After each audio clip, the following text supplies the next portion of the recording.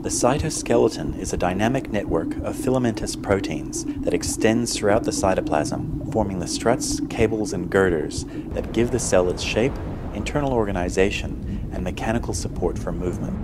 There are several types of protein filament, each built from subunits that rapidly come together or break apart, allowing these elaborate structures to be assembled and dismantled wherever they're required by the cell.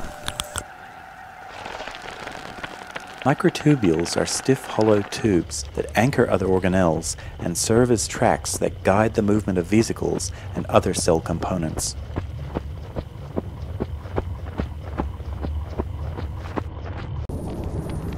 Actin are thin, flexible filaments that form cross-linked bundles and branching networks.